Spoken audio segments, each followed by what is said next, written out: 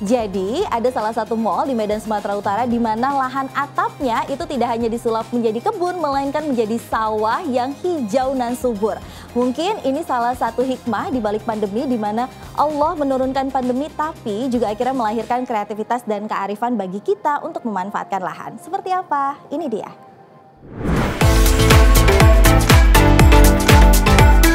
Hamparan tanaman padi yang menghijau ini rupanya bukanlah ada di sebuah lahan persawahan atau di pedesaan. Lahan sawah seluas 1000 meter persegi ini berada tepat di puncak sebuah gedung pusat perbelanjaan yang ada di kota Medan, Sumatera Utara. Bahkan tak hanya padi saja yang ditanam di sini, ada juga beberapa jenis sayur mayur seperti cabai, sawi, kangkung, jagung, dan kacang tanah. Wah, kreatif sekali ya idenya. Pengelola mall memberi nama lahan ini Kampung Milenium Ago Park atau sawah di atas awan. Karena memang benar adanya, jika dilihat lahan persawahan ini bersanding dengan pemandangan gedung-gedung bertingkat di tengah ramainya kota Medan. Awalnya tahun 2020 pada saat dimulainya pandemi, di mana kami waktu itu menyediakan tempat ini untuk olahraga karyawan Nah waktu itu ini ada area parkir, parkir jadi ada bahan-bahan barang. Nah karena kita sering berolahraga untuk meningkat, untuk menjaga kesehatan, untuk meningkatkan imunitas, olahraga pagi jam 10, kami lihat ini lokasi ini perlu kami bagus, perlu kami perindah dengan suasana hijau karena hijau ini bisa memberikan ah, spirit dan juga imunisasi.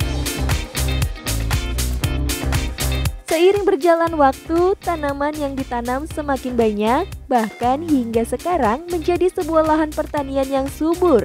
Hasil panennya pun bisa dinikmati dan untuk dikonsumsi bersama. Pengelola mall pun akhirnya lebih serius menata ulang lahan di atas gedung ini dengan menambahkan beberapa tanaman hias, meja, dan kursi agar lebih nyaman dipakai untuk bersantai para karyawannya. Kini, taman sawah di atas mall ini justru menjadi daya tarik baru bagi para pengunjung mall. Mereka bisa bersuah foto sambil menikmati suasana khas pedesaan yang asri di tengah hiruk-pikuk perkotaan.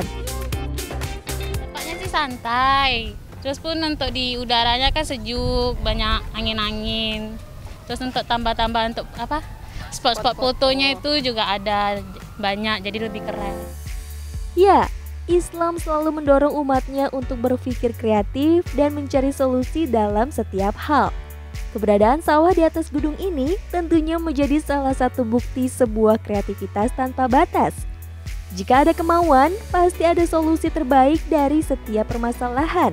Seperti firman Allah dalam Al-Quran, Sesungguhnya Allah tidak merubah keadaan suatu kaum sehingga mereka merubah keadaan yang ada pada diri mereka sendiri. Quran Surat Ar-Rod ayat 11